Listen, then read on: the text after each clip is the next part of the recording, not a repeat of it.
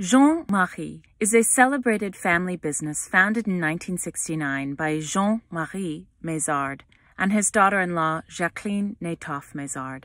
Jean Mahie's combined focus on the texture and sensuality of high carat gold as a medium and jewelry as wearable sculpture dovetailed with the women's liberation movement and counterculture of the late 1960s and 1970s.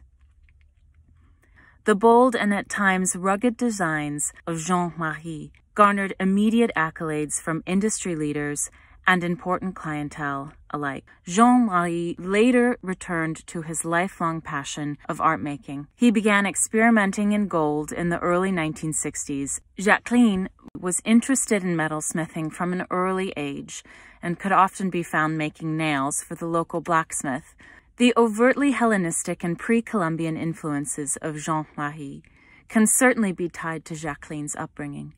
However, heavy undertones of French whimsy live in the spirit of the brand as well. Dancing and stretching golden figures forged against hand-hammered backdrops, described in 1979 by the Los Angeles Times as ironic erotica, and by Jacline herself as erotic but funny, Jean Marie and Jacline worked silently and without plans or sketches for their designs, often trading small figures and objects wordlessly between their workbenches. Today, Cyril, educated as a painter and sculptor at the Rhode Island School of Design, works with his mother to continue the legacy of Jean Mahie.